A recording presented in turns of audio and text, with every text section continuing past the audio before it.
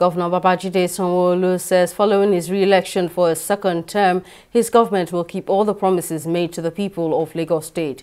Sanwo-Olu made the remark at the Lagos House Marina while giving the victory speech for his re-election. Sanwo-Olu also condemned the rhetoric along ethnicity and religion which plagued the uh, election, adding that governance is about capacity, competence, and experience. He commended fellow contestants for their participation in the democratic process and their contribution to creating a truly competitive political space in Lagos.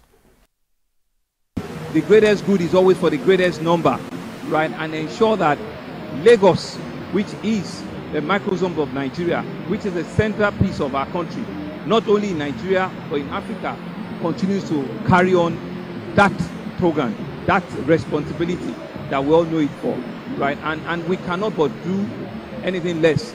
This is the centerpiece for foreign direct investment in Africa.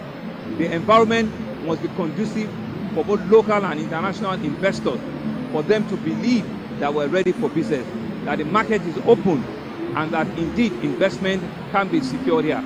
Security is critical.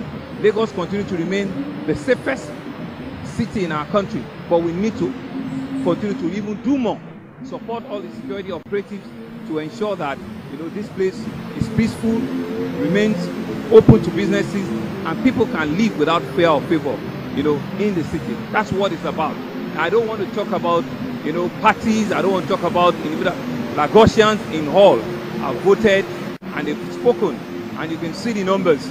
It's not anything close, you know. So it's an overwhelming majority, and it has signified to us that the little work that we've done, which we still have energy to do more, Lagosians appreciated it.